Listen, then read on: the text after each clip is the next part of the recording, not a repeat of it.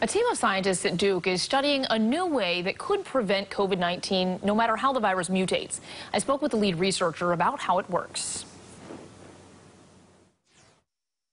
Dr. Qianben Wang and his team are working on a new way to prevent COVID using what's called CRISPR technology.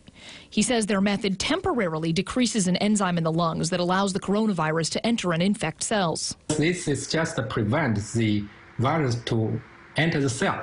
It is not designed to offer long-term protection, but rather to be effective for a few days.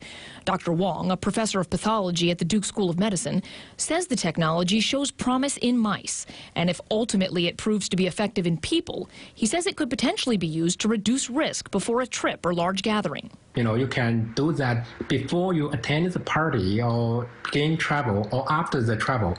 You know, both are fine. Yeah.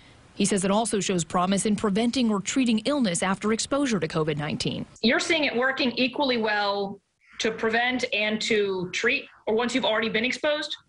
Yes. During testing in mice, the treatment was delivered by IV, but Dr. Wang hopes to modify it to deliver it through an inhaler. Because of the way it works, he says it should remain effective even if the virus mutates, and for multiple types of coronavirus.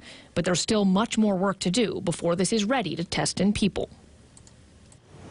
Now, if this ultimately proves to be safe and effective in people, Dr. Wong says it could help people who are immune compromised and don't respond well to vaccines. It could also add an extra layer of protection. definitely interesting stuff. Thanks for that story, Maggie.